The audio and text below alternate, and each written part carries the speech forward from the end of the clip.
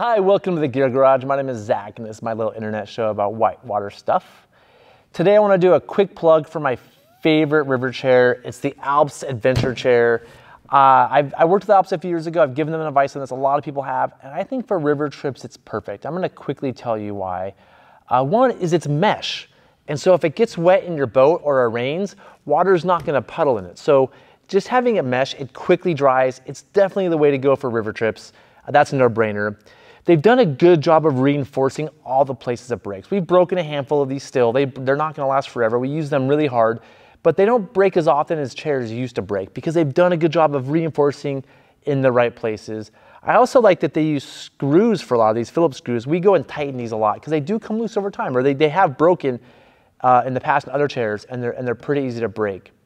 And finally, they're just pretty light. You know, you don't want your gearboat to be too heavy.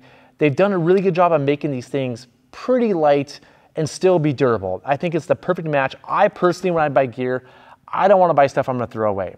It really bothers me from an environmental perspective to have gear that I use for a season or two and throw away. And so this is, to me, is the perfect balance between being durable. I can fix a lot of it. It's going to last a good amount of time, but also not weigh down our gear boats too much. And I know I said finally, but just one more thing. A lot of chairs you find at like Walmart or I don't know, wherever, they have big armchair things and all these extras. This is no frills. This is a chair. You don't really need armchairs. You don't really need cup holders.